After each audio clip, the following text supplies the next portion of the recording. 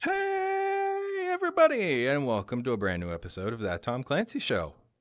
It is me, your humble host, the the robot who's a GoBot. No, I'm not a GoBot. I was a, I was an Autobots and Transformers kid. But it's so lovely to see all of you here tonight. I am, of course, your host, Mr. That Thom Clancy. Uh, some of you eagle-eyed viewers might be wondering why there's a rubber duck on my desk.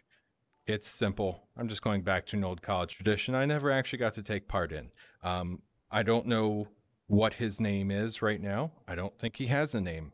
But hey, chat, maybe we can come up with a name for our duck. Well, it's been a crazy day. Uh, it has thunderstormed like five times here, and I think I'm in between the worst of it right now. So we should be able to get a show going today.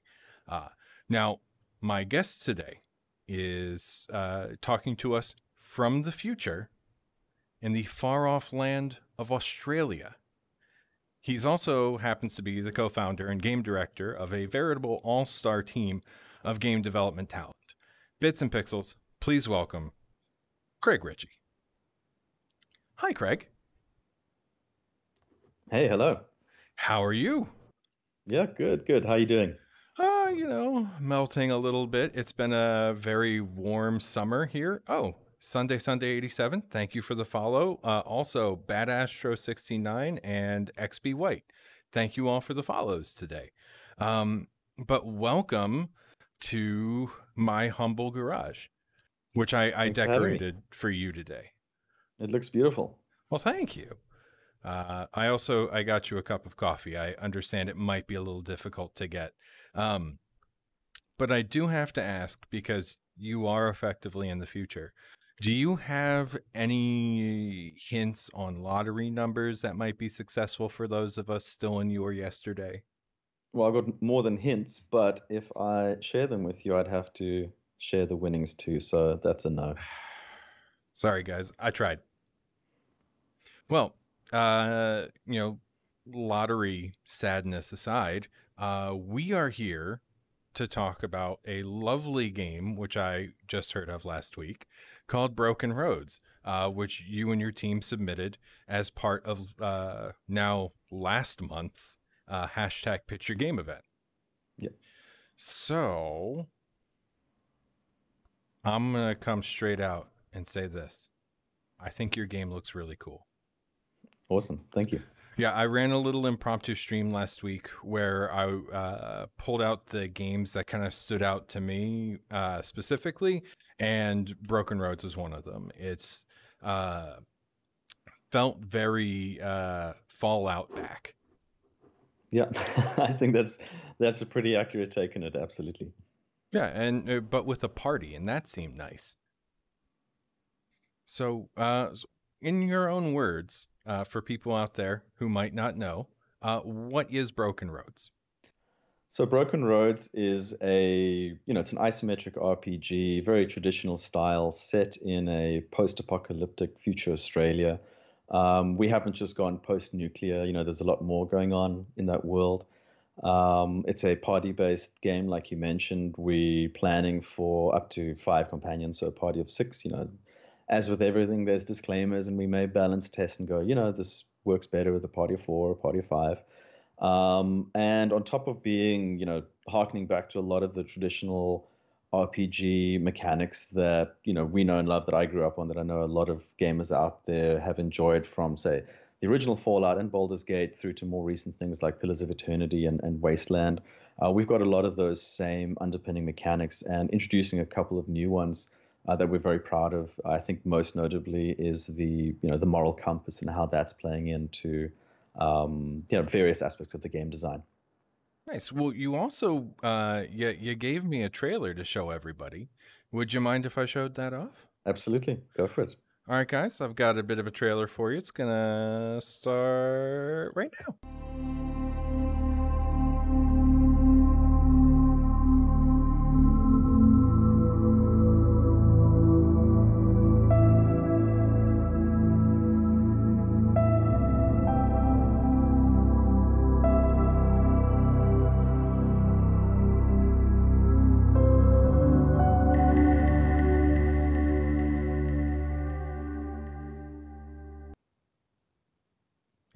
Welcome back from the trailer, everybody. I really hope that the audio was working on that because otherwise, I'm going to look like one dumb CRT robot. well, I didn't hear any audio, and uh, Sunday Sunday is our audio lead and composer, so I think you can expect him trolling very soon. Okay.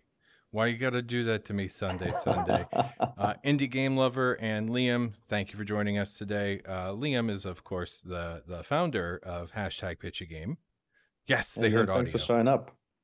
Yeah, Liam tries to be here for every episode, which I find to be uh, slightly mad, as it is uh, like 2 a.m. his time right now. But apparently, Liam doesn't sleep. So yeah, I got a message from him, and I think he said that he is pretty much nocturnal anyway. So I've gotten mails from him at, at hours that would be, you know, would surprise me that most people in, in Europe are online. You know, so hey, Liam, and thanks for joining. Yeah, I, I, frequently I don't think about what time it is when I uh, send people random messages. I just kind of do it when the thought occurs to me, and then I think, oh crap, they're sleeping. I'll hear back from them, you know, tomorrow. Liam, no. Five minutes later, that sounds like a great idea, Thom. Let's do it. And I'm like, dude, go to sleep.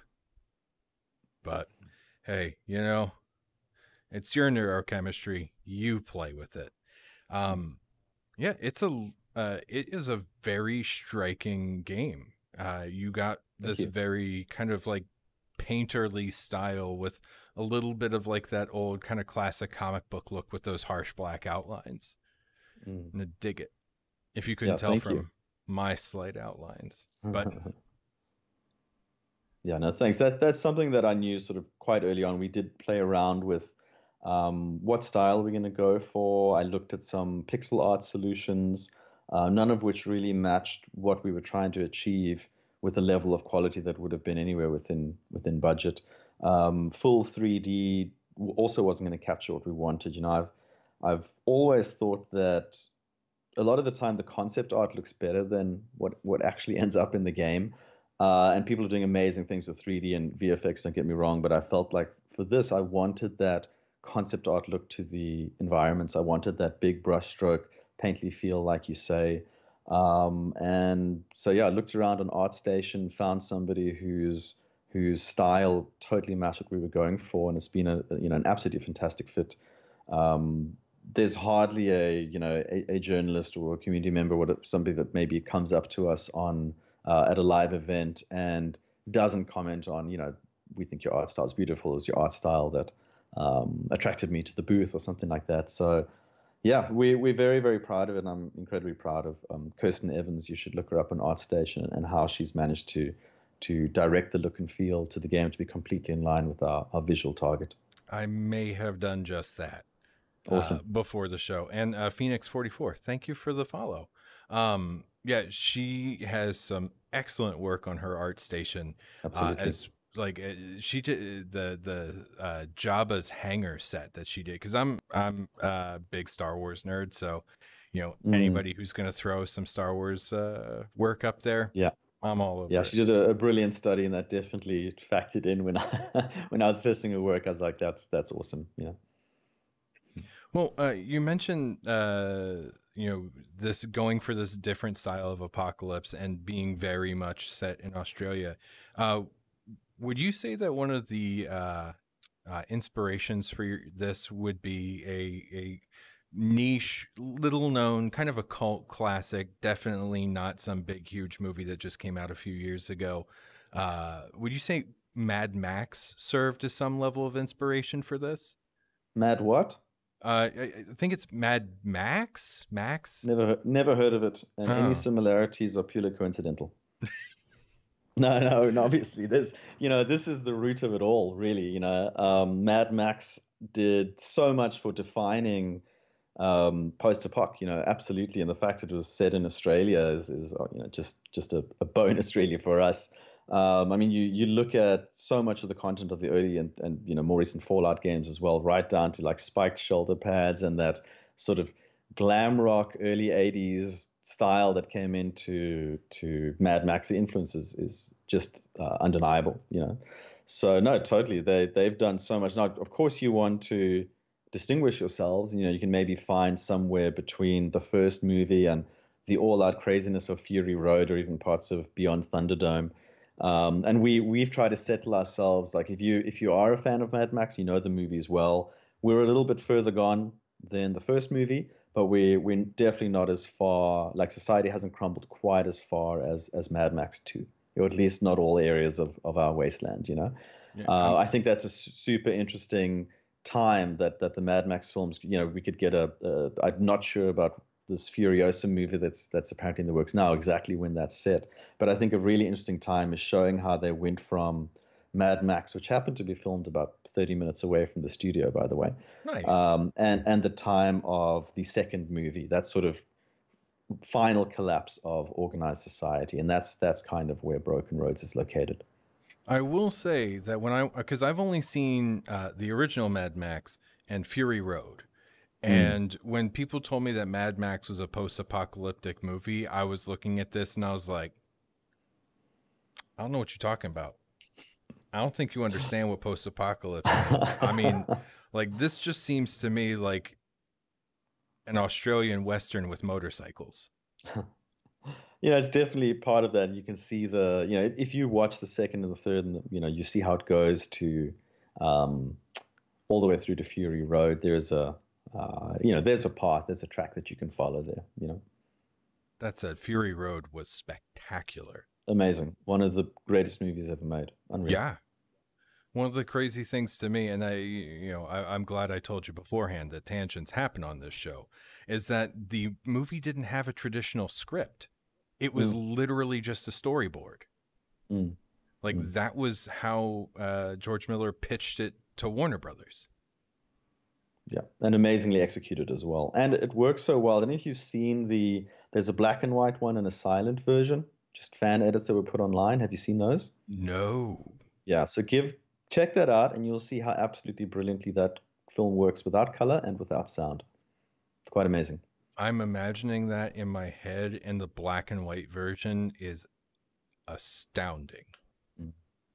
So, all right. So, uh, uh, back to your post-apocalypse. Um, I know you're going to be kind of tight lipped on story stuff, but I got to at least try and ask. But what caused your apocalypse? so it's actually a range of things. I mean, there are some events that we'll reveal as part of the story, but it is um, it's a combination of factors. We've tried to be, you know, realistic within certain bounds, but it's a it's a fall of society. It is um, you know, environmental collapse, rising sea levels, a, another, um, you know, global recession or, or, or, just basically economics, economic collapse, um, polit- political divisiveness and the, the extreme um, division that you see in the world, you know, just, just look at Twitter any day.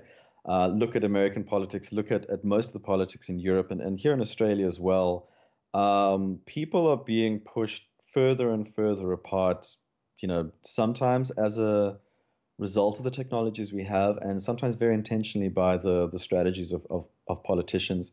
So we have fictionalized a a a second American Civil War that divides along the political lines, the you know the, the left and the right, that then inspires more countries around the world to sort of do the same, and then you end up having two major large, uh, you know, it's not an Axis and Allies, but it is like that we've done a lot of research. Uh, my co-founder, he's um, you know his background is in environmental economics, and he really understands these uh, political relationships and you know a lot of the socioeconomic factors that might go into deciding which uh, countries would ally themselves with which other countries. And we you know we've, we've taken a bit of liberties there, but we've we've basically gone. What can we see in the world today? Well, we have you know we have climate change and we have massive amounts of poverty and overpopulation.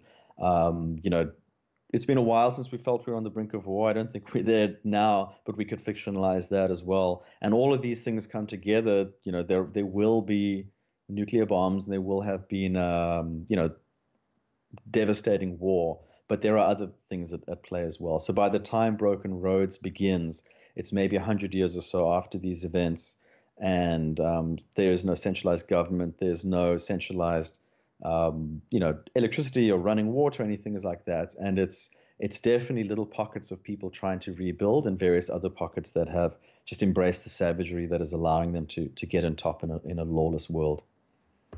Wow. Um, you say all of that, and I'm just like, so it's like five weeks from now. It's September, you know. yeah, man, uh, I was yeah. hoping to at least make it to my birthday. Uh-huh.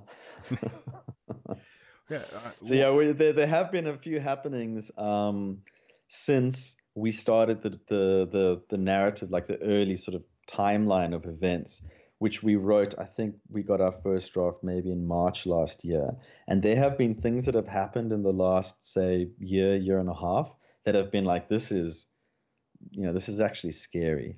Um, so let's hope that it just stays the realm of fiction. Okay.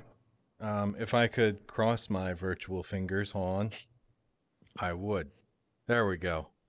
It's a little, you know, untraditional, but hey, I made it work for me. There you uh, go. You're also keeping any vampires at bay, so. Yeah, you know, uh, thankfully, I don't think I coded any into this world, but you can't be too safe. Mm-hmm. Um, I kind of alluded to this earlier in the introduction, uh, and you definitely alluded to it uh, when talking about Kirsten, but or Kirsten, Kirsten, Kirsten, yeah. Okay, you, you, with the spelling on that, you never know. You never know. Um, and you really have put together a kind of, you know, Avengers of development talent. Well, thanks a lot. Yeah, no, we, know, we worked really hard to build to build a team we're incredibly proud of. Yeah. Yeah, I mean, uh, we were talking a little bit earlier before the show, and I had mentioned, you know, told my Fallout back joke. Then um, I'm gonna stand by it, and anybody takes it. You got words. Rock solid. Me. Yeah, you know, great one you know and then you had mentioned well that makes a lot of sense because you have this wonderful guy by the name of colin mccomb on your team who has a ridiculous track record. With these kinds of games uh, just to name a few for everybody uh, he worked on a little game called fallout 2 uh, torment tides of numenera uh, planescape torment wasteland 2 and 3 divinity original sin like this guy's resume reads like a BioWare founder. is really the best way to put it.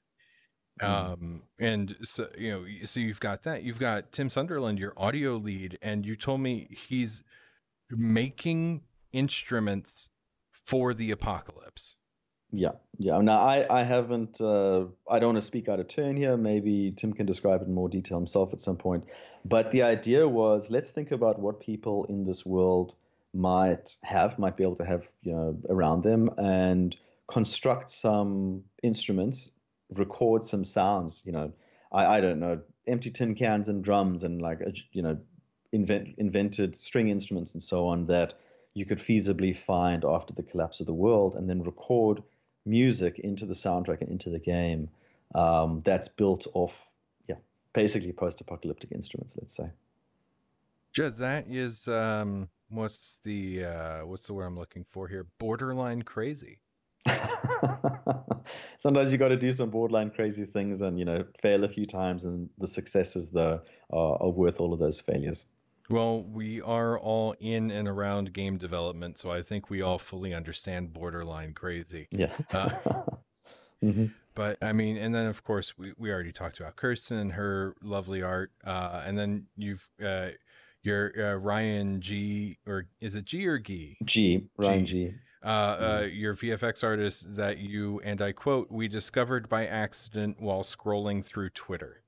Exactly right. So I was I, I don't know what I was doing that day, and I saw this um this really cool animation of a, a character viewed from isometric perspective, which is you know I've always got an eye for for when that when I see something like that because that's the how our game is presented um, you know, quite beautifully animated character that seemed to be casting a, a spell and doing some, um, you know, just having certain magical effects that that looked really good. Like I was like, this is this is really um, cool uh, you know, just just visually what this person had managed to do. And I had a had a quick look, and I was like, you know, this this this guy's got a, a, whole lot of talent. Let's let's speak to him, see what he's about. Maybe he's got some things that could really fit our world. You know, there's things that we wanted to do with with dust blowing and obviously ex- explosions and you know, fire and just a whole bunch of, you know, the post apocalyptic suitable things. And we got chatting. Uh, he was 19 at the time.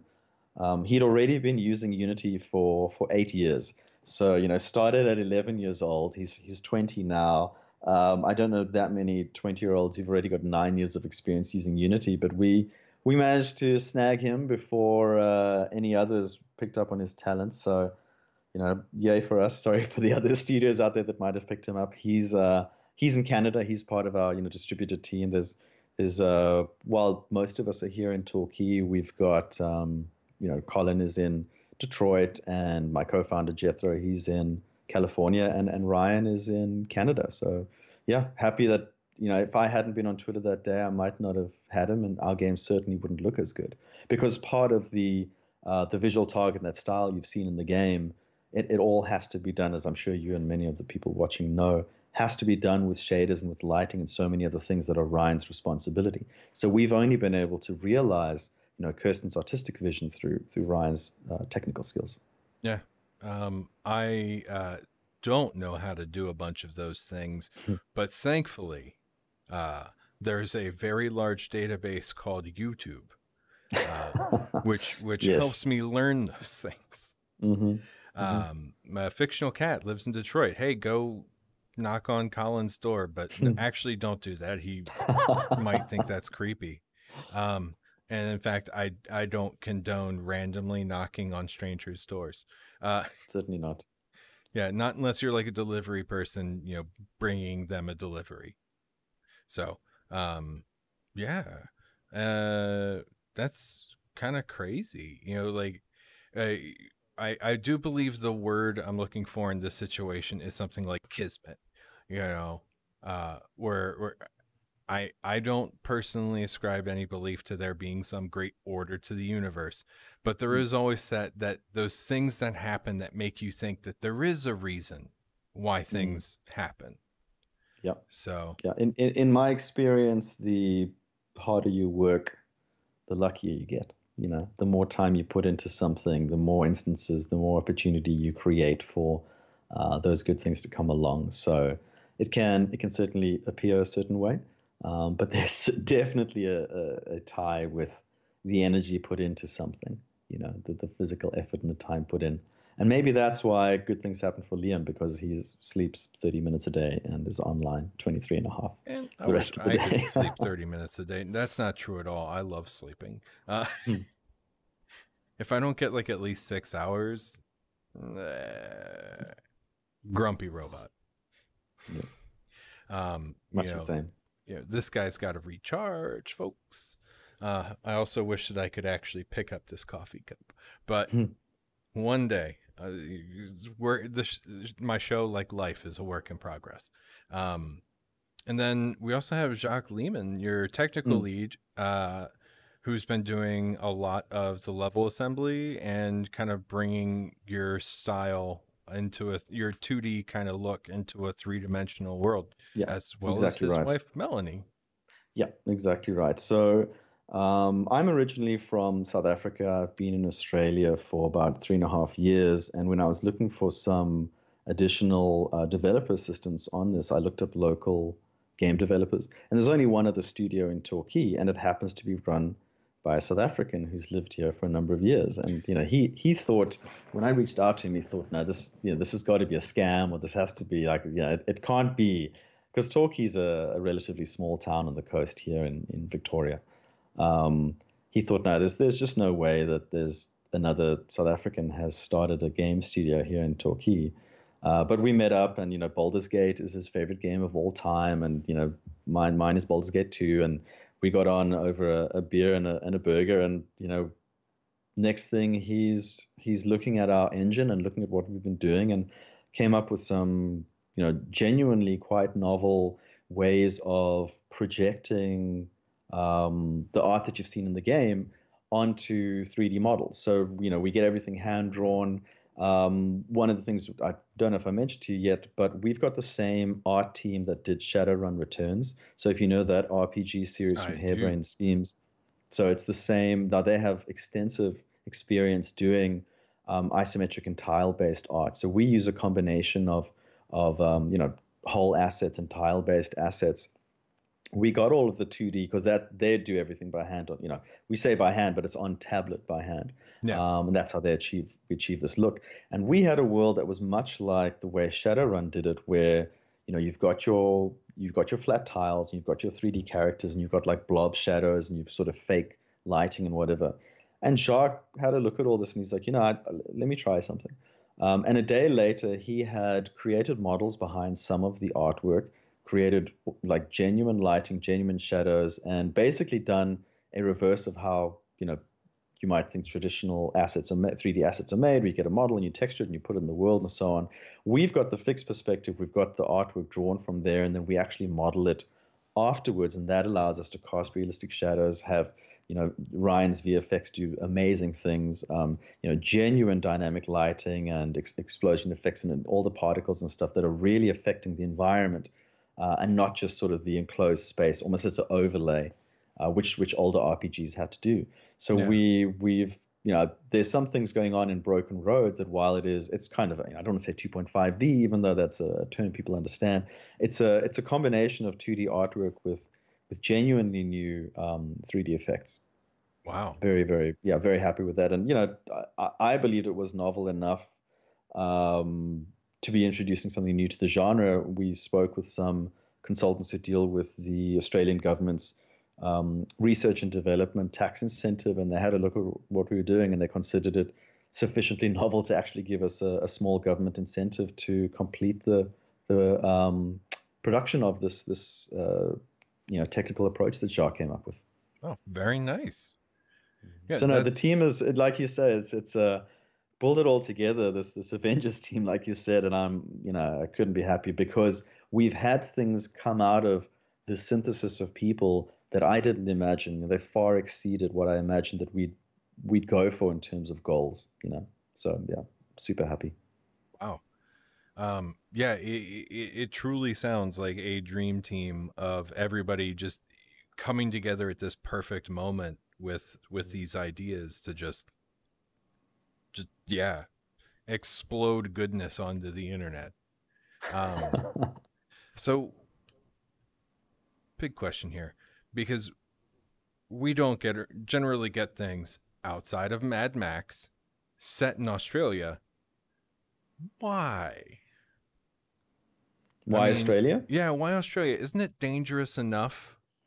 Well, I mean, it's it's interesting. I think there's a lot of stuff you can play up on that. Uh, it does have this, you know, um, impression to the rest of the world. I mean, in some ways, quite rightly so. Of, of every creature here is out to kill you and the mm-hmm. landscape's out to kill you and the mm-hmm. sun is out to kill you mm-hmm. and you know um, but it's also i think just under underutilized in games i mean i i had the idea of originally going sort of across country in broken roads you sort of start near perth and you make your way across the whole country now anyone who's worked in games probably has had to reduce their scope at some point. It didn't take very long before I realized, no, I'm not going to be able to make it across Australia. Let's just make it across Western Australia. Um, and I flew over there and I, I, drove around to a lot of the towns and a lot of the locations that are in the game.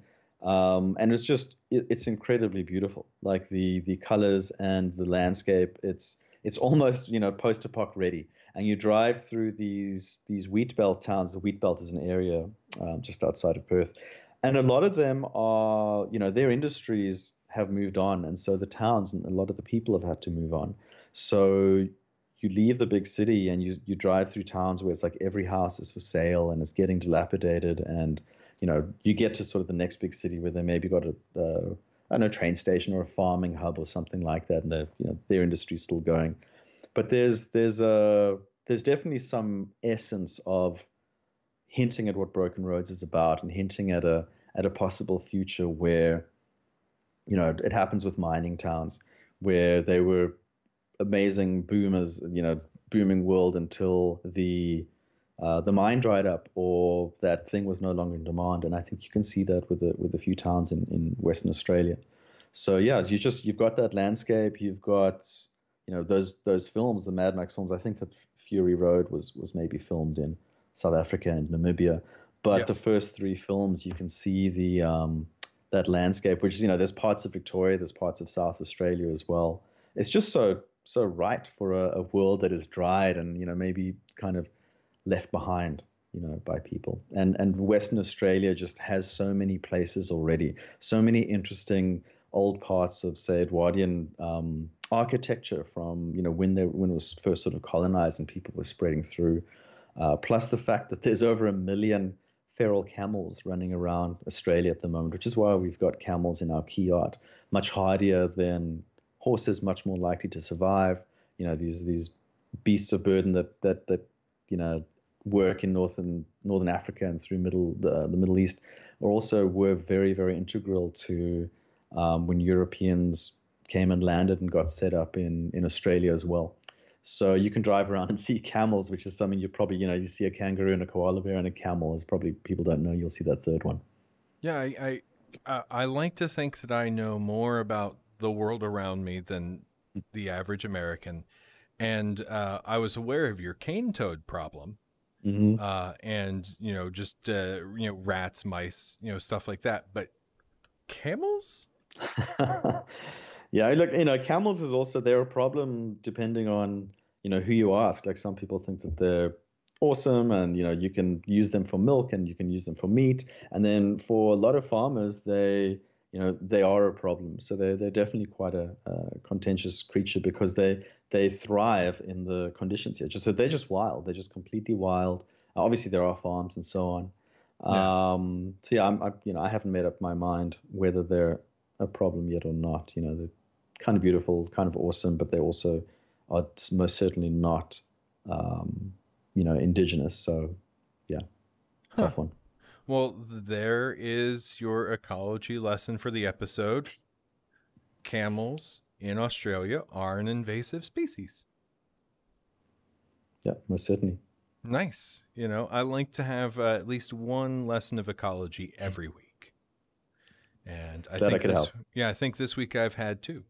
Uh, so yeah, I mean, Australia already has like to this, uh, you know, at least for the rest of the world. I imagine for you living there, that Australia is very, uh, what's the word I'm looking for? Normal, mm-hmm. because you live there. Whereas for the rest of us above the equator, it has this very kind of wild, uh, you know, th- this wild sense about it that certainly isn't helped by all of the animals wanting to kill you. Um, yeah. You, you, until you solve your spider problem, I'm never coming. Mm-hmm. Well, you talk about spiders. I mean, just here we, we had to have the house fumigated because we had a the whole area had like a, a redback. You should look that spider up. We had a no, redback infestation. so yeah, we had a redback infestation, and and you know we had guy out here in like a full hazmat suit, spraying all over, and um, and and all the neighbors as well. Like that's just par for the course, I suppose. You know. Now where um, where Tim lives up in um, Rockhampton, I think they've got some different stories. Probably a lot closer to the uh, the cane toad issues, and it's also more tropical. Like we we're a little bit cooler down here in uh, Torquay, but up there, that's when you start to get you know, spiders that have webs that catch birds, for instance, because, you know, flies and butterflies and the like aren't enough. So the Australian spiders literally catch birds. So why not? Um, pythons. And yeah, he, he, he deals with a totally different range of, um, you know, fauna to, to what bothers me down here. Well, yeah, this has been a great show, guys. I'm going to go uh, blast off to the moon because spiders can't survive in vacuum that I know of. We'll we'll evolve one down here and, and, and get it up to the moon with you. Just please, just please you know, just just leave them down with you. That's fine. You know, clearly Australians are tougher than everyone else. So just saying, just saying. Um, now, one of the things I noticed in the trailer uh, is that you have a moral compass. So instead of uh, you know Mass Effect and Fallout and modern games, uh, which have a very uh, you know excuse me, a two-sided morality kind of thing with you know Renegade mm. Paragon, Karma a systems. Yeah. You're taking a more complex look at the morality and ethics mm. of mm. the player character. I actually have an image to show people too. Um, so yeah, look, this was just born out of you know my my background before I got into this industry. I, I studied um, philosophy in undergrad and political philosophy and philosophy and honors and master's degrees. Um, found that there were so many interesting things that you know thought experiments and moral quandaries and just stories that that you can put a, a, a person through that there's really no clear right and clear wrong answer. Um, and I just, yeah, going even further back to the days of, of Ultima. Now, maybe some of your, your viewers, maybe yourself, remember the Ultima games by um, Richard Garriott, the early Origin games. They had virtues that were integral to the story and integral to, to the game. Uh, I found that super interesting. They had spirituality, honor, compassion, um, honesty. I can't remember them all right now. Um, and I just found that super interesting. Like this, this is something that is integral to the game. It doesn't have, you know, hit you over the head with it, but it's something that you can learn more about in your in your own time. Like, what is the origin of these things, and and and how does it sort of fit into the world? Uh, and I didn't really see that developed. I think it's been really, really underserved in games since. Um, you know, philosophy, morality, ethics. You often find you know some really cool systems like Dungeons and Dragons has nine, you know, from from lawful good to chaotic evil. You get the Paragon and Renegade, like you said, and Karma systems. But even the Force, like Star Wars, has a light side, dark side. There's very often a, a simple binary, and you're somewhere along a, a straight spectrum. Um, and I thought, well, it's, it's even that that kind of assumes you're between two poles of of, of right and wrong. Um, and if we have a, a sort of a compass, like a 360 degree compass that also has gradations from the center to the outside on, on how sort of extreme something is, we might be able to get something far more fluid and far more uh, representative of, of the real world. You know, and I'm, I'm pretty vocal about, I think Twitter is, is great for marketing. It's essential part of the, you know, the games industry at the moment, but it's also a technology that is necessarily divisive because it has to distill complex issues to you know one or two tweets with like 140 characters or 280 whatever it is. Um, you don't get you don't capture the real world. You simply capture this is my idea and if you dislike it you're the worst and hopefully a hundred of my followers will shout at you and therefore i win and you know we don't investigate anything. Um, and you know, look at how integral social media and and um, you know Twitter and the like is to electoral campaigns, like presidential campaigns and, and so on at the moment.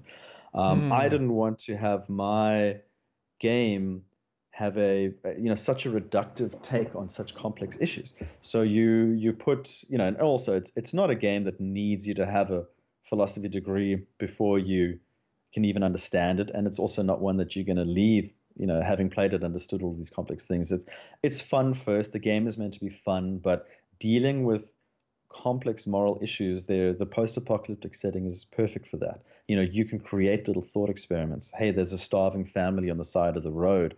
If you don't give them some food and water, they will die. But if you do give them some food and water, the 20 people in your convoy might not make it to to shelter. They might not make it within the city gates, and raiders are going to kill them all. You know, that's yeah. a that's a simple utilitarian. You know, is the lives of two people worth the lives of, of risking twenty people? You know, for instance. And because we have the compass with the worldview, that worldview is the sort of golden arc on there. That Excuse expands, me. that expands and and um, goes further out towards the edge and sort of gets narrower depending on, like, let's say I take a lot of um, Machiavellian choices. My position on the on the moral compass slowly moves towards being in the Machiavellian quadrant, but also narrows my worldview. So I can start to make sort of more focused Machiavellian choices, unlocking moral traits, which I'll get to in a second.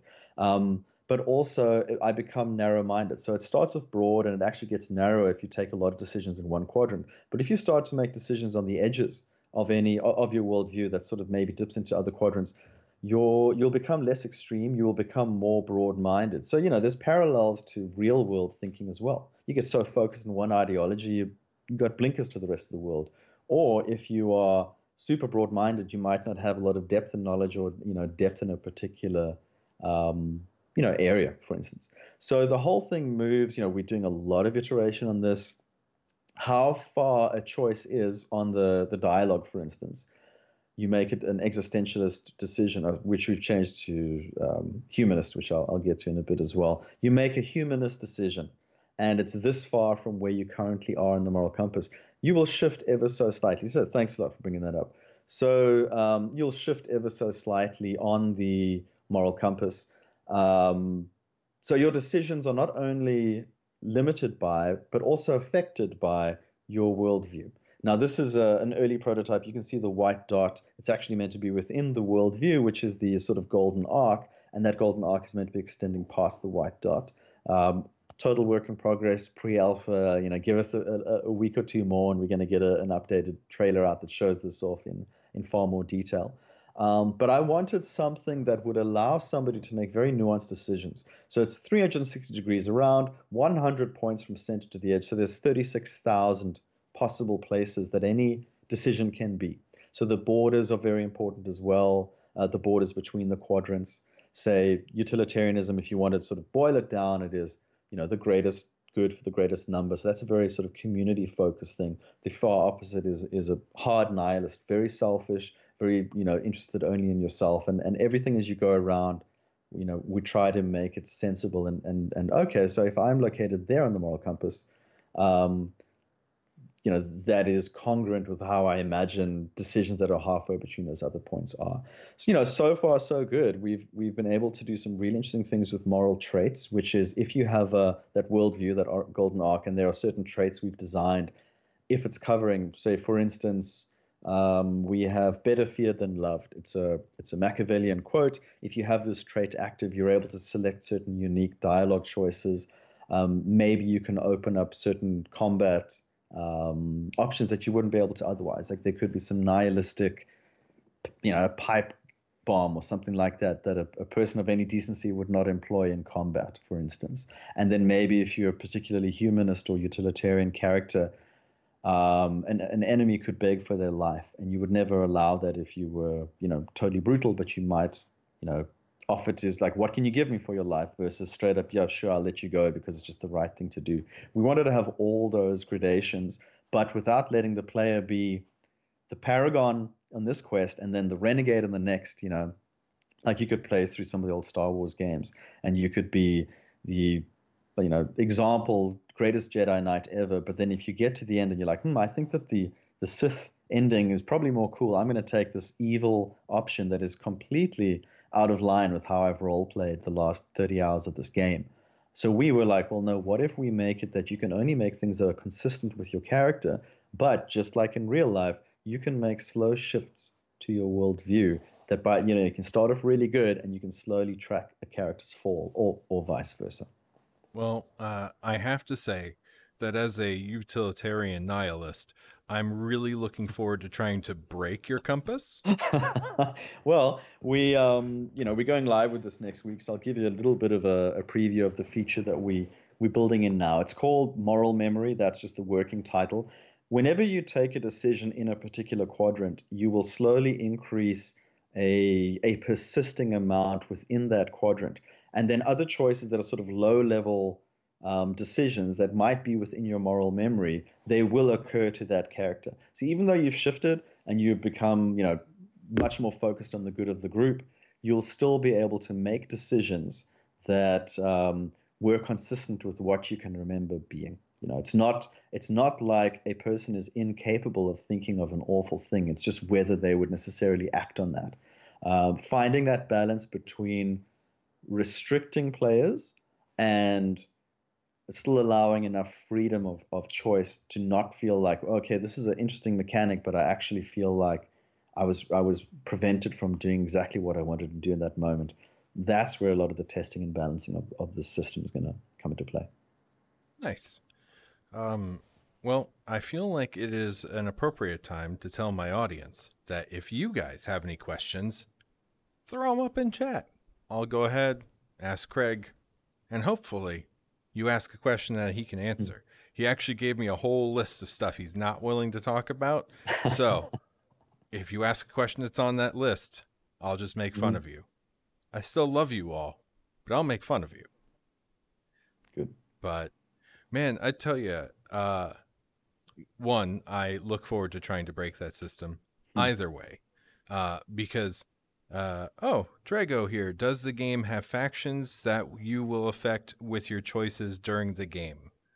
Yeah. So we we absolutely will. We've got um, you've got your convoy, which is the the you know it's not strictly, but about twenty people that that you're moving with. Um, and they have sort of their own identity as well as you individually as the player character there's different towns, there's different cities, there's different players within those towns. There's also certain um, guilds and, and factions and collectives, which I won't go into too much detail now, that there are very complex relationships between them. And your character, at character creation, you have to choose an origin story. You know, maybe you were part of a barter crew. Maybe you were a, a jackaroo, which is like a farmhand at the, the you know the cattle stations in Australia. Uh, maybe you're a hired gun, like a mercenary, or maybe you were a surveyor, you know, part of a cartography guild that plotted out where are the settlements in the outback, where are the the um, you know the, the new pathways and routes and, and and unmapped, uncharted places that have established since since society fell, and people are willing to pay for that information because you know you could see why hired guns, the mercenaries might want to know, okay, well, where there's an unprotected settlement. You know, unprotected means either there's money for us to protect them, or there's money from somebody who might want to take what they've got. The barter crews might want to know what the surveyors know about a particular area because they can establish a new trade route. So all of those things, as well as a little bit of um, you know, infighting and that kind of thing, and what you do as a player could reflect badly on your convoy and so on. Um, so absolutely, there's a full reputation system, um, and obviously your moral choices are really going to piss certain people off because the system allows characters to have uh, their own moral compass. So while you see yours as the player character, when we create a new character in the world, an NPC or a party member companion, we can plot where they are on the moral compass. And depending on if there's enough overlap or enough opposites, they will react in different ways to what you do. So you know we might have you might have a party composition let's think of Dungeons and Dragons, a good example. You're a paladin, uh, you can only be lawful good, and then you're traveling with a, an evil companion, for instance, mm. and they don't like what they do, and eventually they they run away or they leave or something like that. We can do very very complex, um, you know, mixes of of of different moral leanings. Well, I imagine that any Machiavellian uh, caravan members are not going to like my nihilistic utilitarian outlook on the world. But that's well, fine. the borders, you know, there, there's part of of um, the way it's designed. The top border of Machiavellianism lines up with utilitarianism because the, the you know the root of Machiavellianism was how to rule, how to maintain power, in the most effective way possible. And that can be done either for a good of a group or, or even just for the good of the individual. And then the good of the individual at the border of the Machiavellian and nihilistic quadrants, you start going into incredibly selfish acts for the individual. And then that goes around to humanism, which is slightly less, but still self-focused and still individual focused, which is is starts to get a little bit nicer, as it were, right through to the good of the group. And then when you're in the utilitarian, the good of the group, that's when you can start going, well, you know, we got to let these two, this, this, this starving family die for the good of the group, which takes you back all the way around to Machiavellianism. So those borders, they, they are quite significant. And you, you might find that, geez, I actually had some Machiavellian leanings I didn't know about uh, that you can discover while you're, you're playing this game. We're all complex creatures. Uh, Phoenix 44 uh, asks, Will characters come and go depending on your moral choices? And I think you touched on that uh, mm. when talking about uh, factions and the hmm. like. Um, yeah. Yeah, look, I, I don't like it in Baldur's Gate, but I know that certain people do. I don't like it in Baldur's Gate and similar RPGs when I role play the way I want to role play and I lose a companion as a result that's a personal game preference. I'd rather they were grumpy but stuck by me, or maybe they, um, you know, just complain a lot or something like that. But when I've had people leave my party, I've often want like it's dissatisfying. Like especially if it's somebody who you know you're midway through their quest and you want to play through that content or something like that so the approach that i'm trying um, this could totally change and it'll all just really be about feel and, and what community reactions are. The approach i'm trying is a, around morale and initiative in combat and reactions and so on. That if you do something that makes somebody one of your companions progressively unhappier they they can become despondent because our characters can also have conditions on them. Um, you know, think of say bleeding or or fatigued or whatever that affects their stats. Now we can have like despondency or you know just general dissatisfaction regarding your moral choices, and that could affect say their initiative in combat. So while somebody used to be really effective, they're just generally depressed and unhappy. They start to act later and later in the turn queue. Um, just you know, just things like that. Maybe they they instead of leaving your party, they will return to the convoy and be unwilling to engage on particular quests. You know, so the companions might say, look, if we go and do this, I'm out. You know, I'm not quitting the convoy. You can have me for another quest in future, but no, I'm not willing to break into the mayor's home and and you know take her son and hold him ransom, for instance. So, so kind of like how in Mass Effect uh, 2, everybody had the loyalty mission, and depending on how you made those final decisions would determine whether or not you maintained the loyalty and were able to progress dialogue trees and stuff like mm. that with the character. Yeah, yeah. Exactly. Nice. So so I think that it's going to take a lot of testing and a lot of balancing, um, but there might be companion quests that you can always do and then companion quests that are only if you've got within the you know if your if your morality overlaps sufficiently.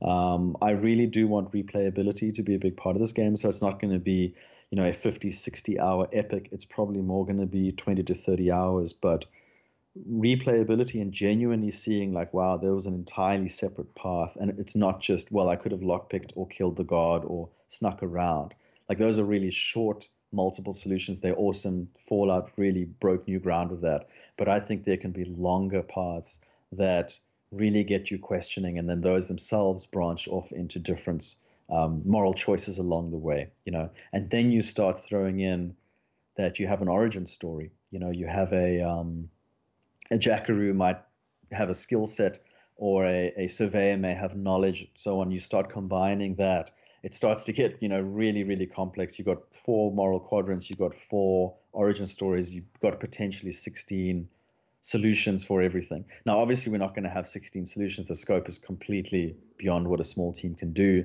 but we do want to find significant moments where your your moral leaning your, your philosophical leaning um, and your origin story can create a, a new experience it might give you say a 30 minute or an hour playthrough that you wouldn't get if you didn't have that um, that that that, two, that intersection at that point, then you want to replay it. Like, well, what if I was a Machiavellian uh, gun for hire at that point in the quest?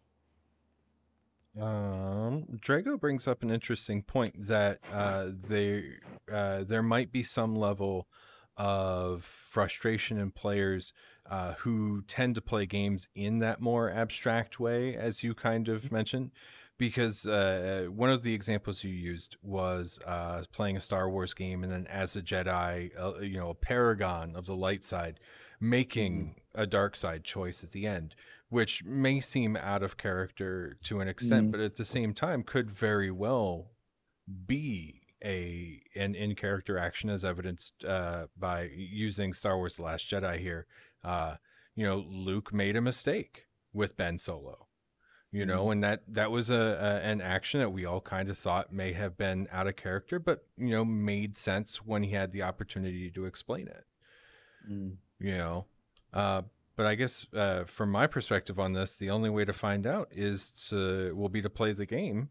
Mm. And look, I mean, he he raises sorry because I've just yeah. seen the question. Um, he raises the concern, you know, the concern about if it's being frustrated and restricting um, that's what we're going to have to test and balance. That's why, specifically, why we brought in moral memory, um, so that even if you do shift, you're not completely prevented from from making decisions on the the other end of the the moral compass. Um, he's he's totally right. Like this game is is meant to be role played, uh, as opposed to just clicking choices and seeing how they turn out. because everything's data driven, because everything's run by numbers, like you know, we can turn it off.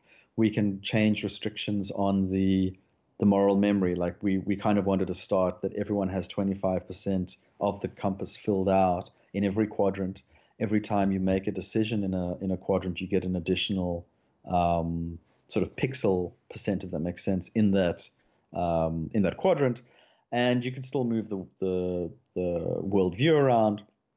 So yeah, it's just got to be fun. It's got to be tested. It's it's fun first, and if we get too much feedback that like, hey man, this is too restrictive, we can tweak all the numbers. We can make your base morality uh, persist for longer, and we can make your um, make it faster to move around the moral compass, uh, and so on. Sorry for that graphical error right there. Uh, if it's not one thing on the show, it's hmm. something else. Um, Did the audio persist? Should I? No, no. The audio persisted. It was all in. Uh, uh, uh, there was a glitch in the matrix, and I had to solve it. So, well, dang man, you came with significantly heavier answers than I was expecting. Uh, Given it a lot of thought over the last year and a half. You know, I it, I can tell. Uh, dang. Um, oh, uh, Drago with another question. How is travel to work? Is it a hub world with set areas or more just go randomly or maybe some restrictions with opening okay. areas? Oh. I'm, I'm going to say very little on this because we haven't revealed that at all and we're still not revealing it this early. Um, all I will say is there is a distinction between convoy and party. So the convoy can be somewhere and the party can be exploring elsewhere, basically. And there are definitely hub and major areas. Uh, there is a path through the game, but there's a lot of freedom um, while you go through that path slash paths, depending on your moral choices. Um, so yeah, we we do want to allow exploration, but your party is not always limited to where your convoy is. Nice. Well, uh, uh, give chat like another minute or so here to come up with uh, some more questions. But unless we don't have any more, it's going to be uh, time for my personal favorite part of the show. And it, it's a doozy this week. And by this week, I mean today. It's, you know, I, I talk like it's a weekly show, but it's basically a daily show, but not the not daily the daily show. show. No, no, I'm I'm not Trevor Noah. I am not one of your fellow South Africans. Hmm. Um, I do love how he has really grown into that show. I will say. So, all right, He's done us proud. Yeah, he he really has. He's a funny guy. Yeah, uh, absolutely. It looks like we don't have any. Oh, one more. I may have missed combat. Is it turn based or something? Yeah. Else? So so we're actually going to be showing off a lot of combat uh, in our next trailer. It is turn based. Screenshot for it. Yep, you can bring that up. Actually, yeah. That thanks a lot. Um, that screenshot reflects the UI, um, the grid-based movement, the cover system. It's got a combination of action points and movement points.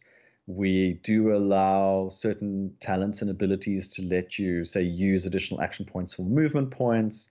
Um, and because we've moved from, as I mentioned, really quite quite a bit early in the show from a, a 2D tile-based game to a full 3D environment, we were able to do certain things with line of sight and raycasting while sticking to the turn-based, um, sorry, grid-based combat. So you know maybe you're hiding behind the bus over there and you've got half, um, you know, half cover. If you don't have a line of sight to, you know, direct line of sight to say that that raider scout, you won't be able to shoot. But if you're on the other side of the the um, the wrecked car, because that wrecked car is hollow and those windows are open and there's a direct path through the door, you can actually have a line of sight to the raider scout and still enjoy your your cover, for instance. So there's a few things where it's not hard coded into the vehicle. You've got this much cover and it blocks line of sight. It literally will look through the model. Uh, if you know, because obviously you can aim a gun through the window of a burnt out car. So those are the kinds of things that we we've also uh, experimenting with here as well. Very nice. Uh, fictional cat. I don't have any questions, but I am now interested in the game. cool. And- awesome to hear. Thank you. That's precisely why I bring these people on the show. Um, nice. Uh, love these type of games that have to get my pillar peeps interested in this game. Looking forward to new stuff. So Cool. Thanks a lot, Drago. Pillars has definitely been an influence, and the the games that influence Pillars, uh, and especially all the improvements that Obsidian made with Pillars Two. Um, spent a lot of time looking at uh, quality of life improvements and just how they've handled uh, such a big world. Obviously, our game won't be as big as Pillars Two, but there's a lot that we we looked at and, and what you know they've refined it. Those are experts in the genre. Um, Pillars Two, I think, is one of the best role playing games of the last decade. So you you're definitely in in company that appreciates the same uh, role playing games. Nice. Well, then, it's time for the five questions. For those of you who are new here, and in case you're unaware, Craig, the five questions are five questions that I put together ahead of time that have nothing to do with anything we've talked about thus far in the show. But today, there's a theme to my questions. As you are from, or you live in Australia, uh, a land which is uh, known for its dangerous animals, I thought that I would ask you five questions about the least dangerous animals. Okay. So, question number one The largest rodent in the world is also known as the friendliest animal in the world. What is it? Uh, is it the quokka? I could be wrong. Largest rodent. Is it a wombat? Huh. Sure. Um, no, I think that's a marsupial. Well, The wombat is a Unfortunately, I- marsupial. Okay. Uh, the largest rodent. I don't know. You're gonna Uh, have to help me out there. The largest rodent is the capybara. It is native to South Ah. America. Absolutely. They're adorable. Yeah. They Uh, they certainly are. Uh, I was thinking of Australian rodents and trying to put my mind through what would the largest one be. But no, the capybara is a, a, a beautiful, noble beast. I saw one once, like very close. It was at a petting zoo, but it was sleepy, so it didn't want to be pet. So friendly, you know, unassuming, unthreatening. generally, You see, I if mean- there ever was anything like a capybara here, it would have been long. oh, it taken- would you have know, been selected out like giant spider's years web, ago. you know. All right, question number two: Frequently depicted carrying an olive branch, which animal is recognized as an international symbol of peace? That would be a dove. That would be correct. Uh, And, and you would probably find them in the spider webs here, by the yeah, way. probably. And Built bonus little piece between of- the uh, olive tree branches to catch those doves, you see. well, bonus bit of information: don't show them to Martians. Yep. There you go. Very good. Question number a three. classic. Yeah, I, I love that movie. I have to. I like to throw little jokes like that out there. Uh, earlier this week, I had Sean Baichu who played the wrench in Watch Dogs 2, and I threw a reference to hackers out there. Mm. Didn't get it, Ah, and. I'm like,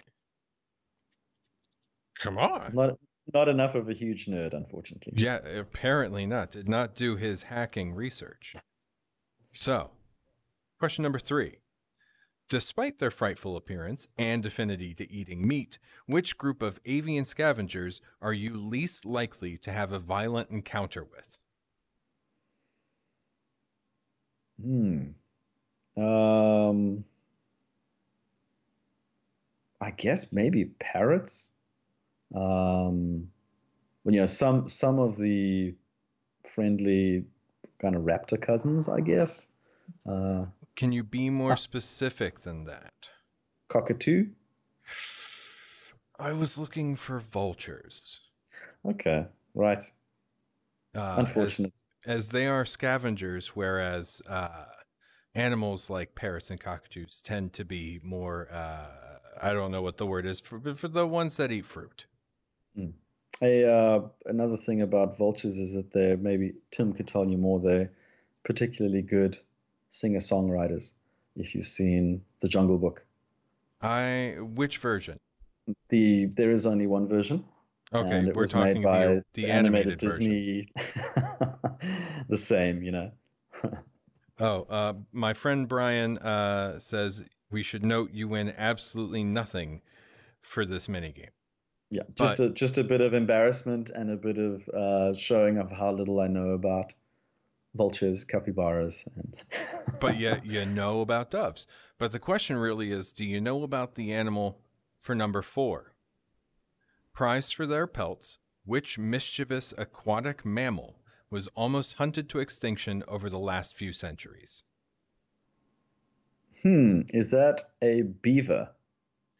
Close. An otter? You got it. Cool.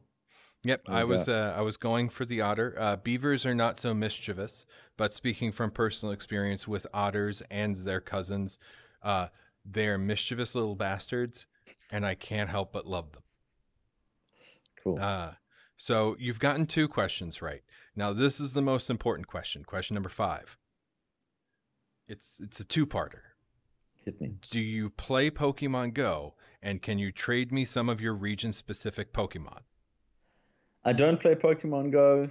I can't trade you anything related to Pokemon. I've never played any Pokemon game, not even when I had a Game Boy Color 20 years ago. Yes, I know. That's, I'm glad you only asked me now, not, not at the start.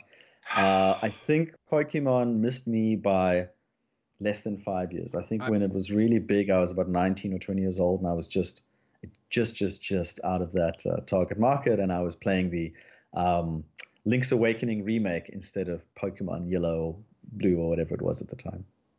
Pokemon missed me as well. I'm only a few years behind you, but Pokemon Go has become a favorite of mine and my wife's because it's a game that we can play together and like go out on walks and all this stuff. And I am just trying to get all of those stupid little pocket monsters that are in continents that I'm very likely not going to go to anytime while this game is relevant. I think if you were to come to our Discord, and this is not a shameless plug for our Discord, if you were to come to our Discord, you'd probably find some Pokemon Go players from Australia that uh, would, you know, be able to offer you more than I can. Okay, I might have to do that. And uh I think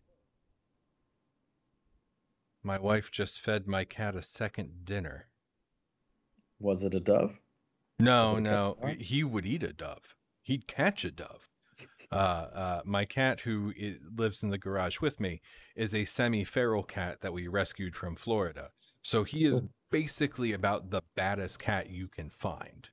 hmm So He'd survive in the post-apocalypse. Uh, he'd survive in Australia. I'm just putting that out there. So, Even hardier. I mean, I, I've watched a lot of Shark Week and Crocodile Hunter. I think I have the absolute bare minimum of an idea. So, Just stories of Australian life, you know. yeah, you know, I, I have a friend who lives down there. She tells me all the time. And her Facebook is very frequently uh, something along the lines of, "We have to leave our house for two days because this spider the size of a dinner plate showed up." Hmm And I'm like, "Why are you there again?" very clearly, Standard stuff. yeah, very clearly, the the uh, the intelligent mammals decided that island was not worth going to. hmm So all that's there are marsupials.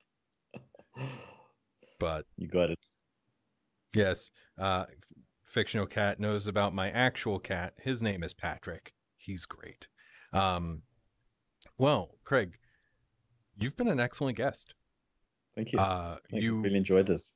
Yeah. Well, uh, you are absolutely welcome back when you get closer to release. Um, or if you have any exclusive information you want to give. Because I Cool. like exclusives. I got, uh, you know, Cool.